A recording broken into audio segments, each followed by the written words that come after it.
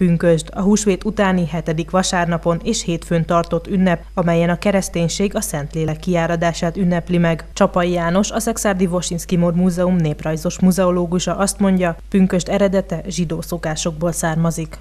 Pünkösd az egy maga a megnevezés az egy görög eredetű szó, ugye a Pentakosztész 50. szóból származik, ugye ez a húsvétot követő 50.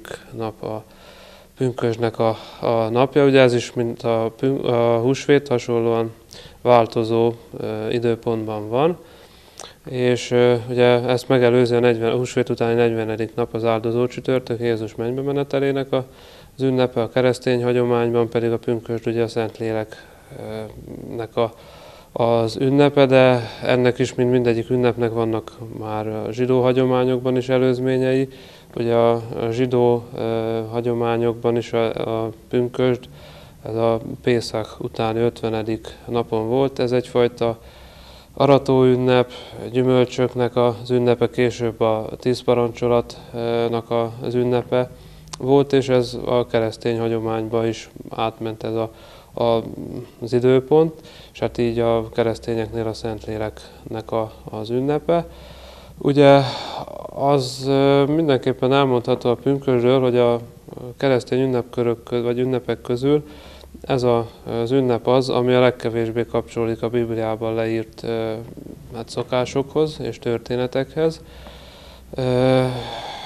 Mutatja ezt az is, hogy már a középkortól vannak olyan feljegyzések, írott anyagok, hogy a pünkösdi szokásokat tiltják mind az egyházi, mind a világi előjáróságok. Általában a pünkösthöz ugye a mm, különféle zöldágas rítusok, a pünkösdi király választás, pünkösdi királyné járás kapcsolódik.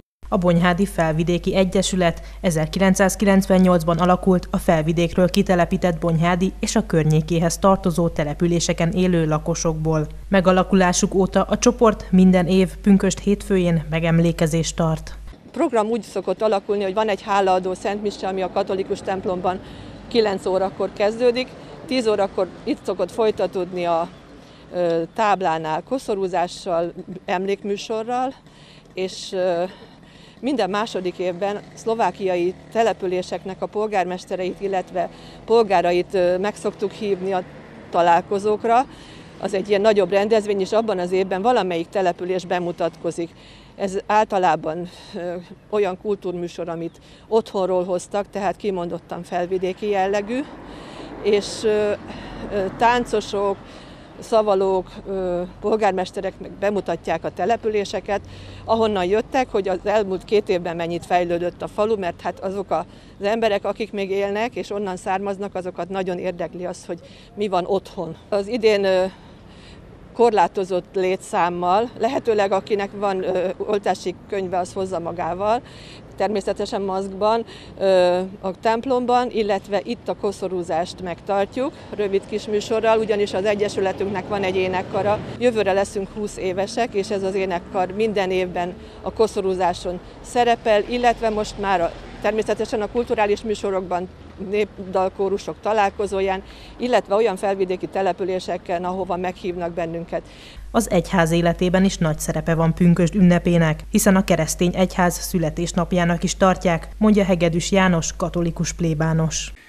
Pünkösd ünnepén a Jézus által megígért Szentlélek eljövetelét és kiáradását ünnepeljük az első tanítványi közösség életére.